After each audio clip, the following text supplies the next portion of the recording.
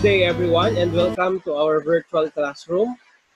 Um, my topic for today is about depreciation. This is for intermediate accounting. So if you are new to accounting, if you are an incoming first year BS accountancy, BS, BS in business administration, BS in information technology, I suggest that you check my discussion on the basics of accounting and the adjusting entries.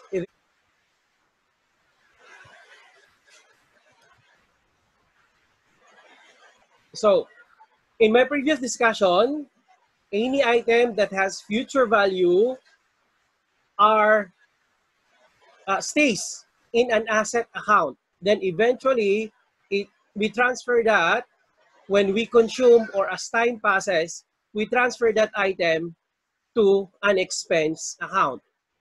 So all of these assets, especially property, plant, and equipment, except land, has its time limit. So normally, these are usable for, usable for a number of years. So after which, they have relatively uh, of little value uh, for service or sale, or if not, zero. We have different names for that expenses uh, depending on the associated assets.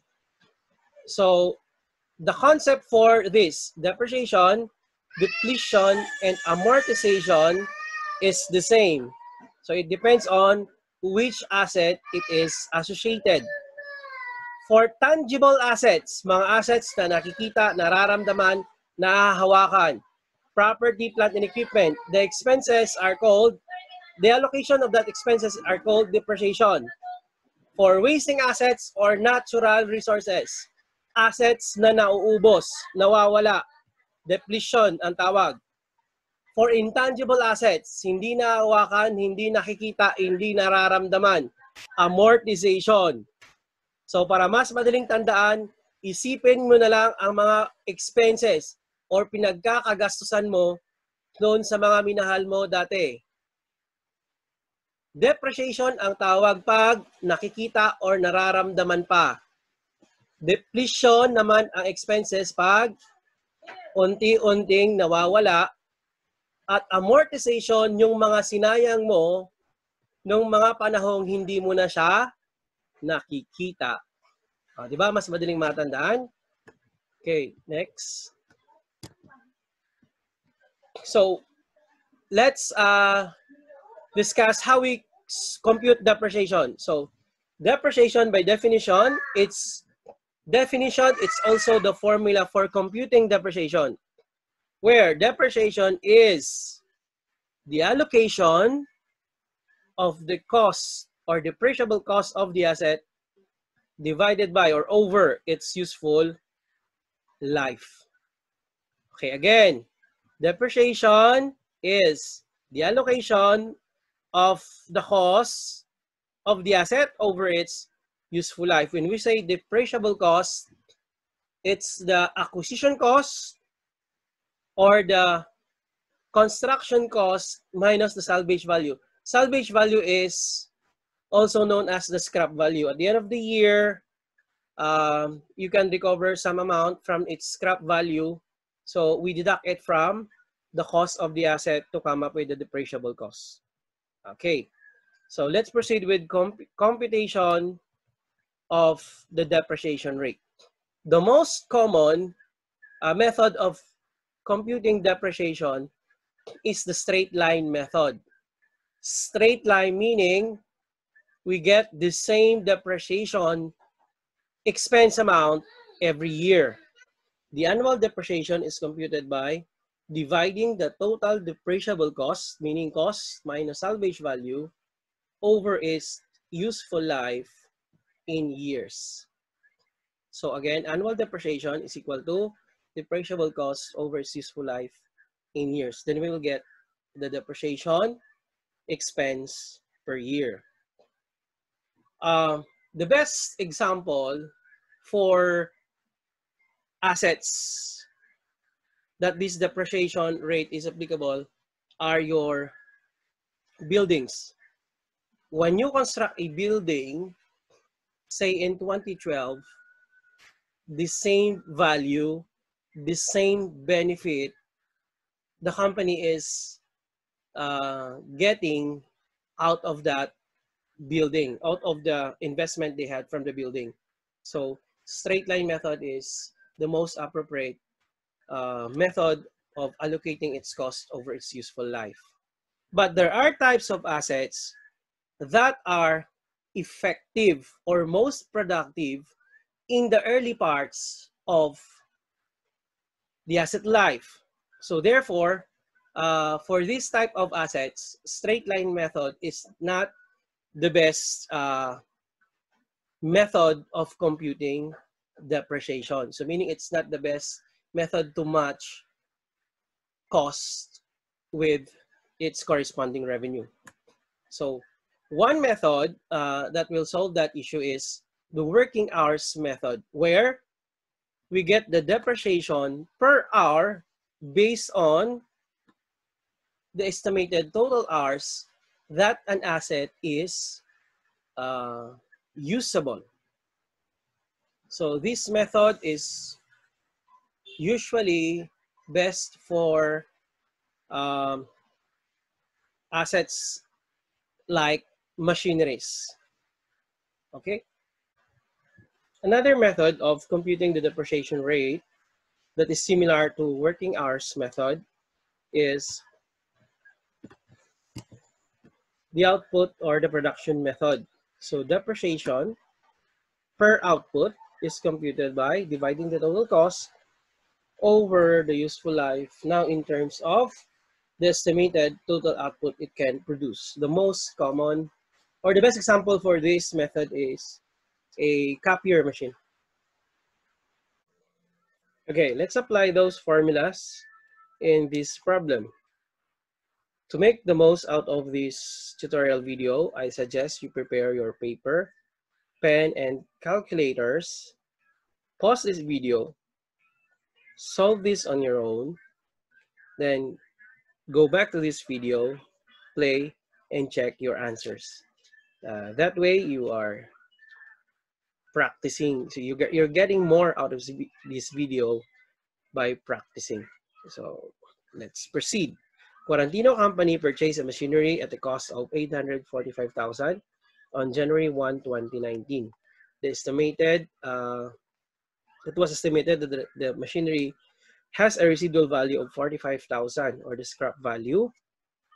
Uh, all of its life in years, five years, in service hours, 80,000 service hours, and 100,000 based on uh, units to be produced. Okay, so we will be using those three uh, depreciation methods that we have uh, learned just now. Okay, so you have here your operations, hours, and units produced. So first we will use the straight line method. So in straight line method, depreciable cost is divided in the number of useful life in years. Then you will get the annual depreciation. So it's 845,000, the total cost, minus 45,000, the scrap value, divided by life in years, which is five years. So our annual depreciation is 160,000. So if we plot that in our depreciation table, so you will get this. So you put the years here, depreciation, or the depreciation expense per year. Per year. That's why it's called straight line. So it's straight 160,000. So take note, we only allocate 800,000 over its useful life. That's the depreciable amount. Accumulated depreciation or the total depreciation per year. So year one, 160. Year two is the total of these two years, 320. Year three, 480. Total of these three, and so on. At the end of the life of the asset, its carrying amount is equal to the scrap value or the unallocated portion. Okay? It starts with the cost and it ends with the scrap value. So that's for straight line method. Straight depreciation expense or uniform depreciation expense each year for the entire years of the asset.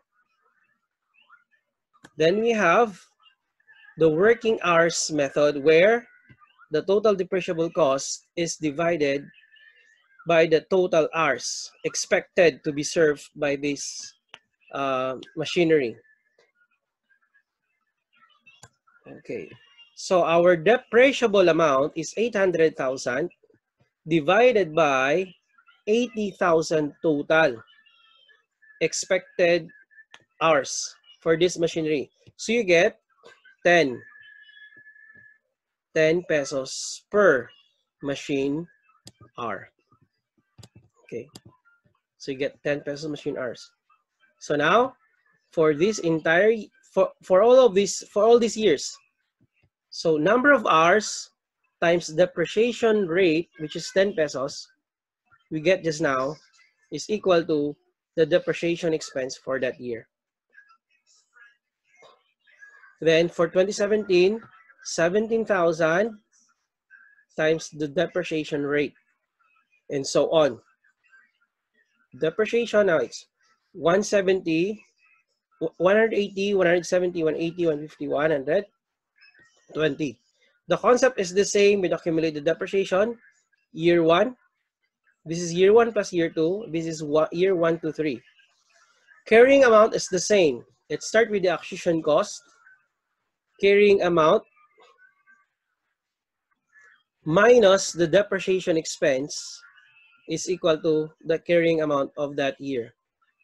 So 6, 665,000, for example, here, minus the depreciation for 2020, which is 170,000, your remaining carrying amount is 495.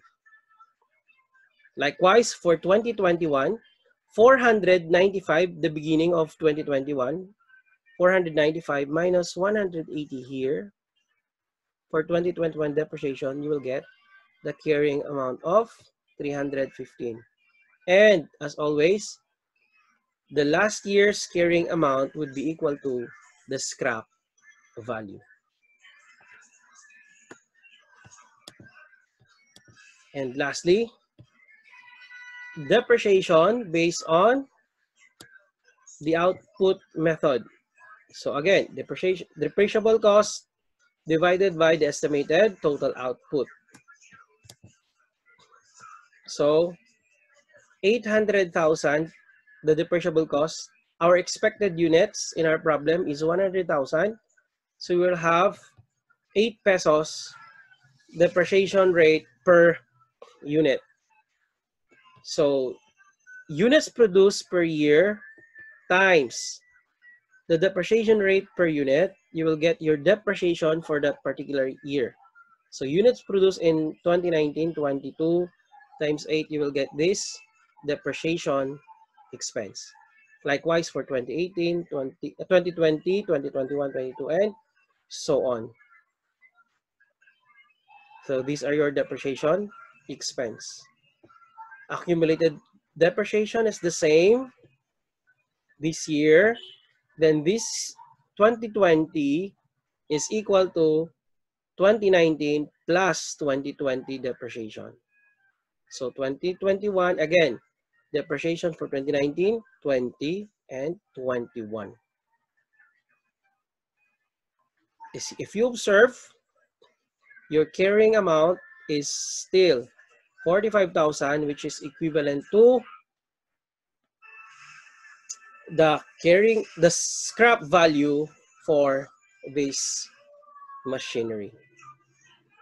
So stay tuned for the continuation of this video tutorial. We will be discussing another depreciation method, which is the sum of the year's digit.